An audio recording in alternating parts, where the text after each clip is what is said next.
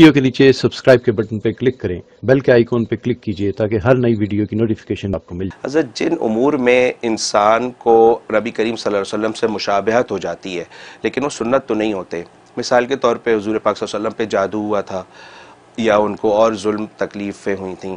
تو ایک انسان اپنے آپ کو ان سے مشابہت میں لائے کہ دیکھو ان نبی کریم صلی اللہ علیہ وسلم پہ بھی جادو ہوا تھا مجھ پہ ہوا ہے۔ تو وہ اپنی ایک نسبت سی قائم کرنا چاہتا ہے۔ تو حضرت اس کا بھی شریعت نے کوئی اہتمام رکھا ہے کہ ہاں اس کو اس نے یہ نسبت اپنی قائم کی ہے اس چیز میں تو اس کا بھی کوئی اجر لکھا جائے گا اس انسان کے حق میں؟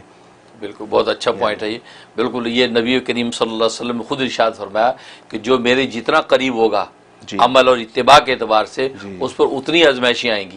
اچھا۔ یعنی مجھ پر جیسے آزمائش ہے اس پر بھی اسی طرح آزمائشیں آئیں گی۔ اچھا۔ تو ظاہر ہے کہ جو نبی کریم صلی اللہ علیہ وسلم کی اتباع کی کوشش کرتا ہے جی۔ ان کی قربت کوشش کرتا ہے ان پر یہ آزمائشیں آتی ہیں۔ جی۔ کبھی اس پر اگر جادو بھی ہو گیا تو گویا کہ نبی پاک صلی اللہ علیہ وسلم کے ساتھ مماثرت ہو گئی۔ کہ نبی پر جادو ہوا تو اس پر بھی ہو گیا۔ جی تو گویا کہ وراثت نبوت میں سے اس کو حصہ ملا۔ اچھا اچھا۔ نبی کریم صلی اللہ علیہ وسلم پر تائے پہ پتھر پڑے آپ پر تومتیں لگائی گئیں۔ اس پر بھی آج اگر پتھر پڑے تومتیں لگائی جا رہی ہیں۔ دین کے راستے میں اللہ کے راستے میں۔ تو وہ سوچتا ہے کہ ہاں میری مماثرت ہوگی۔ جو ہے کہ اس سے نبی پاک صلی اللہ علیہ وسلم فرمایا کہ جو میری جتنا قریب ہوگا کہ اس کو اتنی زیادہ جو وہ بلائیں اور آزمائشیں پہنچے گی۔ اچھا۔ ہاں اسے شد الناس بلان۔ الانبیاء فلمبی امسل فلمسل کہ سب سے زیادہ آزمائشیں نبیوں پہ ہوتی ہیں۔